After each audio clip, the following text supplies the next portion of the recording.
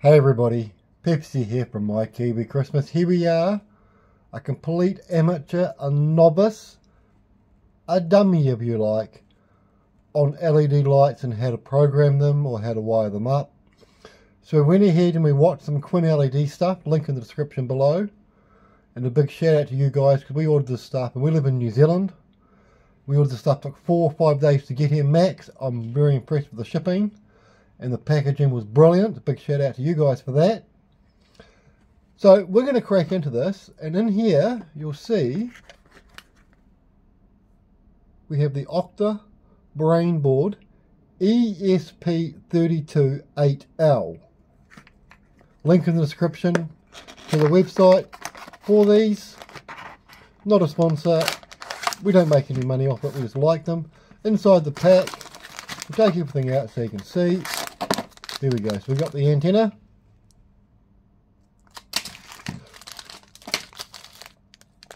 We've got the offsets and the screws. And in here we've got the board.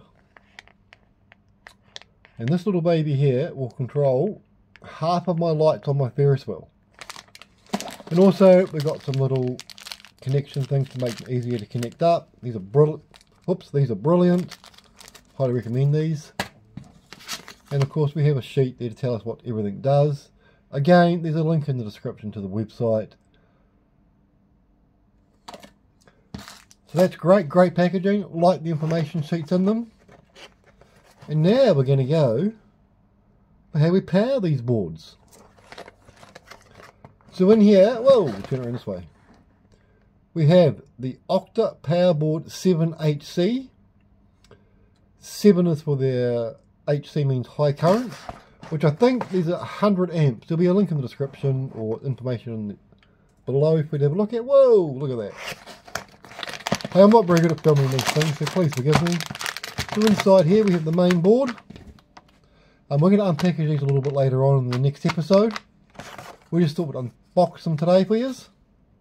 There's the instructions. And in the bottom of here, you'll have another little container will need a bit of hand getting out. And in here, we have a connector. They're all colour code, you can't really muck it up. And some more offsets and screws.